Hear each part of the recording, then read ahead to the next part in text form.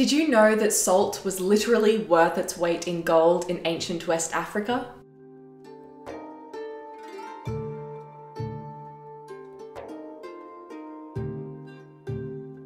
Hello and welcome to World History Encyclopedia. My name is Kelly and today's episode is all about the lucrative trade of salt in West African history. World History Encyclopedia is a non-profit organisation and you can find us on Patreon, a brilliant site where you can support our work and receive exclusive benefits in return.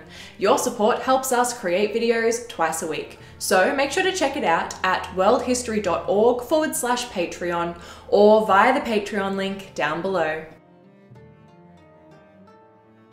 With very little natural occurring deposits, salt became a precious commodity in West Africa, and the trade of salt a significant and quite lucrative business.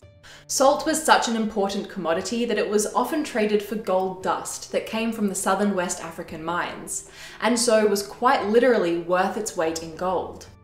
The salt was traded by camel caravans and by boat, moving through trade centres like Koumbi Saleh and Timbuktu, and then even further south to be traded for ivory, hides, copper, cereals, and iron. Salt was probably obtained by early hunter-gatherers through the animals they killed in hunts and from plants, but rose in demand at the onset of agriculture, when a more sedentary lifestyle became the norm, and people traded for whatever resources their region lacked. Salt came into demand for the preservation of dried meats and to add flavour to foods. The main natural source of rock salt was the inhospitable Sahara Desert, where the salt was acquired from surface deposits or from shallow mines, where it formed into slabs. Although it is unknown when salt first became a trade commodity, we do know that the exchange of salt for cereals by savanna and desert peoples dates back to prehistory. Larger scale trade of salt most probably dates to the first millennium CE, with camel caravans crossing the Sahara, run by the Berbers who occupied North Africa, as middlemen between North and West Africa. In time, along with the major trade of salt, came luxury items like glassware and fine cloth, as well as the spread of the Islamic religion, new ideas on architecture and art, and an exchange of cultural practices.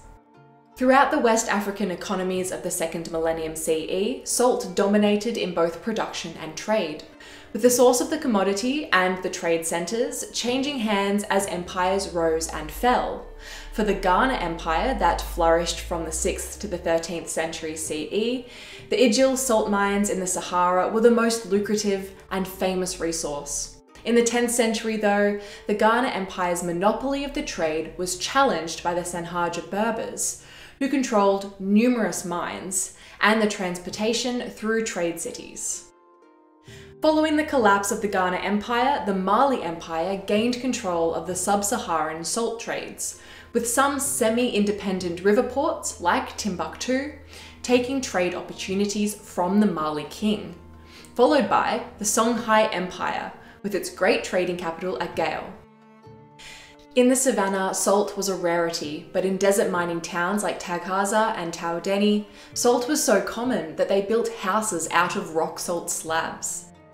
The slabs that were traded and not used as building materials were loaded onto camels, two slabs per camel that weighed up to 90 kilos or 200 pounds each.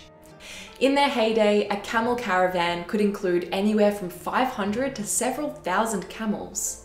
Although the use of these camel caravans really took off between the 9th and 12th century CE, the practice of traders crossing the Western Sahara with a long line of camels laden with goods likely dates to the 3rd century. Once the caravan reached the trading post, the salt was exchanged for goods that were then taken back across the desert. The salt was eventually cut into smaller pieces and carried on the heads of porters to the villages of West Africa's interior.